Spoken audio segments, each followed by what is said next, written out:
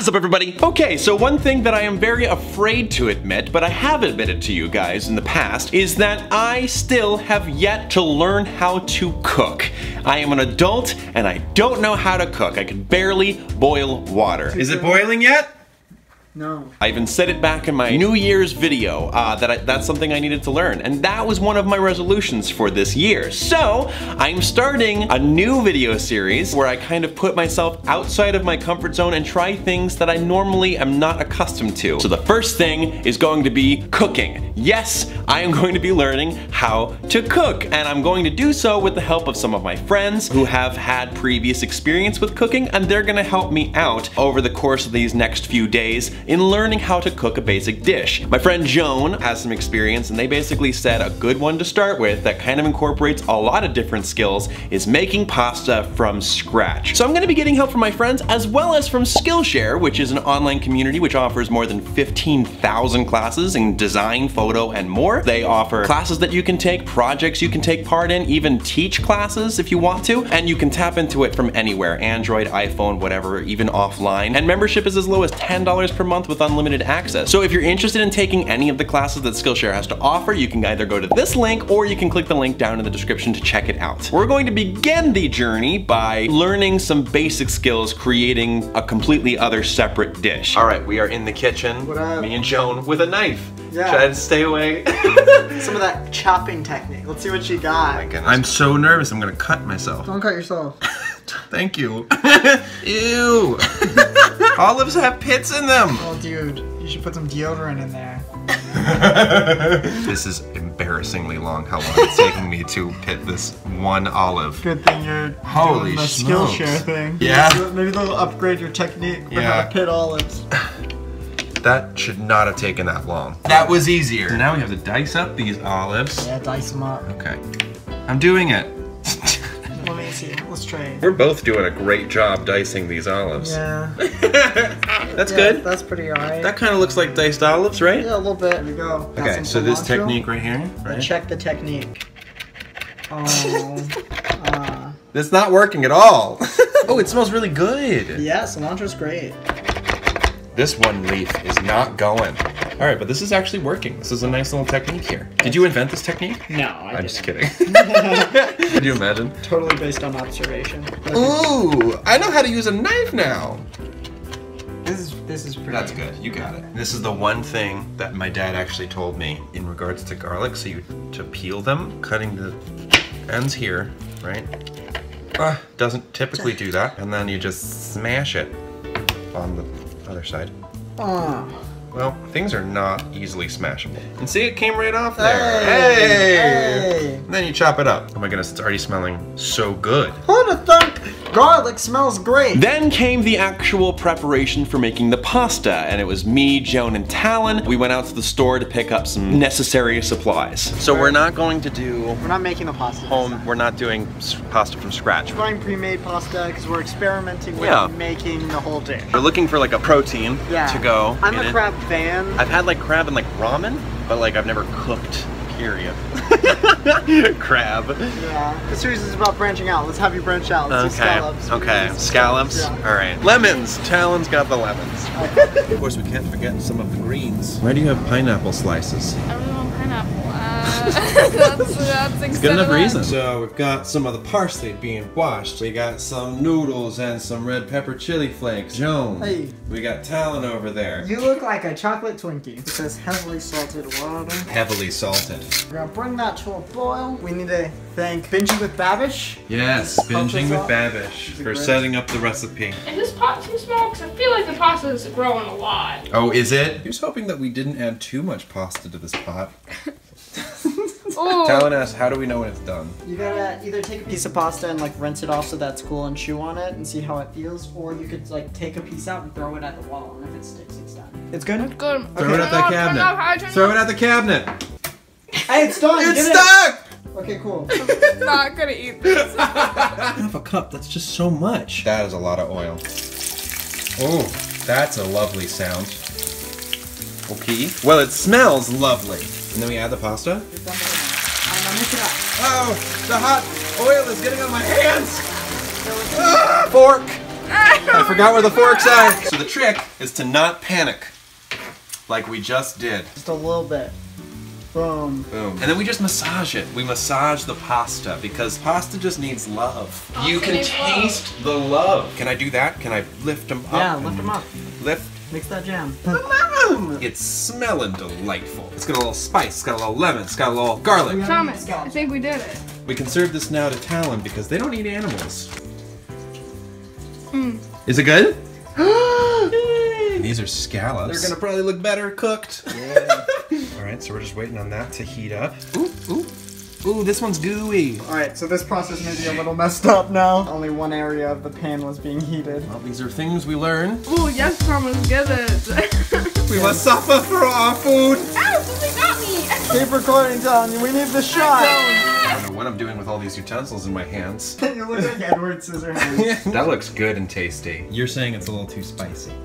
If you like spicy, it's fine. Yeah, that's really good. I really like the scallops. I was surprised. Well, I, I kind of half expected them to just be a little too overcooked. We didn't, I didn't know how long it was supposed to be in there. It was perfect. So that was a lot of fun. I learned some things there for sure, but the next step was actually making the pasta from scratch. We are trying to make the pasta from scratch. Yeah. So one step up on the difficulty scale. Doing a more involved sauce this time. oh yeah, yeah, yeah. A little less spice, a little bit more Little less lemon. spice for sure. A little bit Well, you sweet. just did, you aren't a fan of the spice. I'm a weak little baby. One and a third One and a third. of this. Okay. We're done. Good? We're done. We cooked. Yeah, this is our And then how much of the all-purpose flour? two thirds. Now, half a teaspoon of salt. Ooh. Okay. Okay, yeah, now just stir that up. All right. And now you've made your pasta. No, not yet. Not yet. No. Okay. You're going to make it a little bit bowl shaped so that there's like, it's like a nest. Okay. That's good. All right. Egg. Two eggs. Just right in the middle. Right there in the middle. Yes. Boom. Oh yeah. It looks like one giant. One giant egg.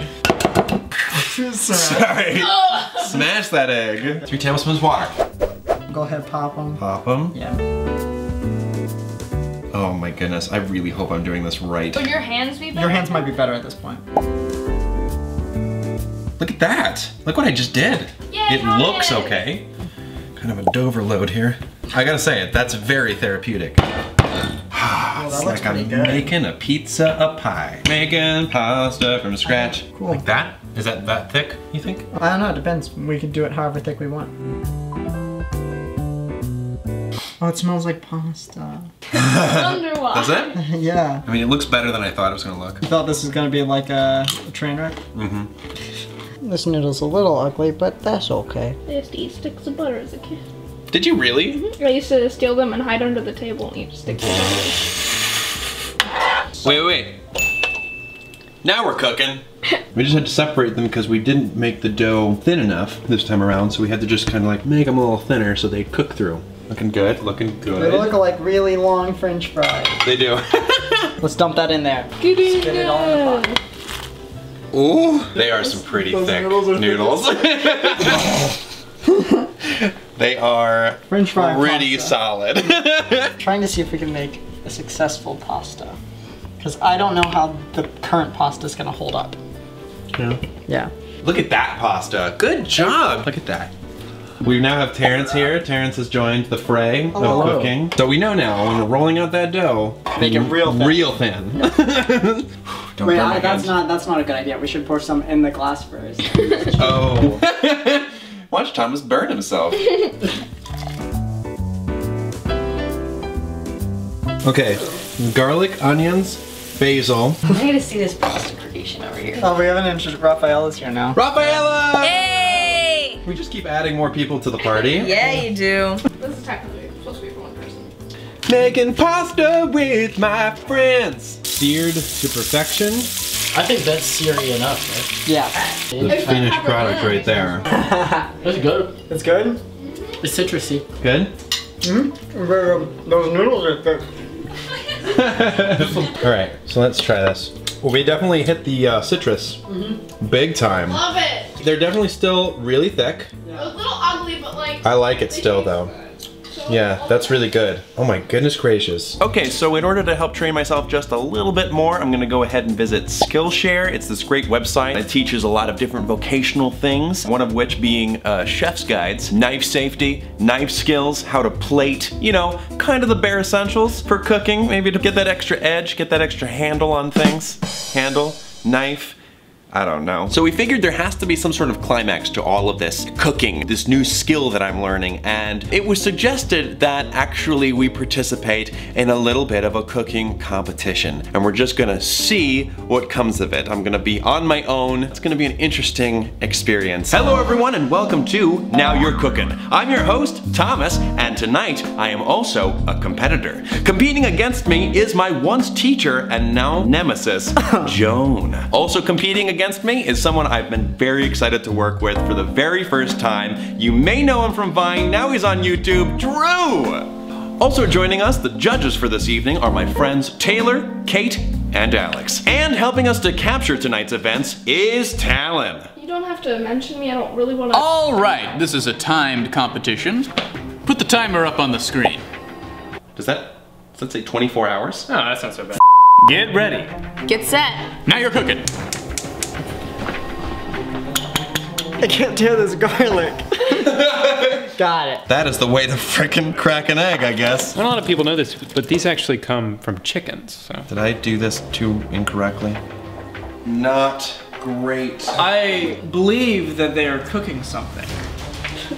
The tears forming are not because I started thinking about the end of uh, Marley and Me. It's the onions. No, not a lot of people know this, but garlic actually comes from chickens. Oh, Oh, look, these two pastas are in love. I wonder if I'll ever fall in love. Probably not. Oh my goodness, that literally elicited that much juice. So a key to cooking is maintaining a very clean workspace. God, I messed up my recipe. The judges are gonna take note of that. All right, so now I have to use this stovetop that they have given me. It's uh, gaslit. Really stepping out of my comfort zone. Do a little bit. Okay, that's scary. Fire. These fellas have some real skill. I can barely even toast toast. My name's Toast. Oh, yeah. Oh, don't spill. I'm not gonna lie, that kind of looks nasty. Listen, it's lemony. Oh, you're already almost done. Drew, that looks delicioso. You're hyping this up too much. I don't know. Yeah. Look at those curly fingers, Talyn. I'm just going to grate this whole thing of cheese. Ah, I cut myself. What? I cut myself. Some slack for not doing exactly what I needed to do. but I'm still doing okay. I was supposed to have seven ounces equal parts pasta flour and all-purpose flour. Looks like I have about five ounces of pasta flour. My best friends. Pardon me. Pardon me! Letting it set was a good thing to do. Something I like to do is let olive oil dissolve, and then I just put the pan back when I'm done. What is this guy, a scientist? I'm making one really tiny piece, and the judge that finds it gets $50. Oh. I'm bribing them.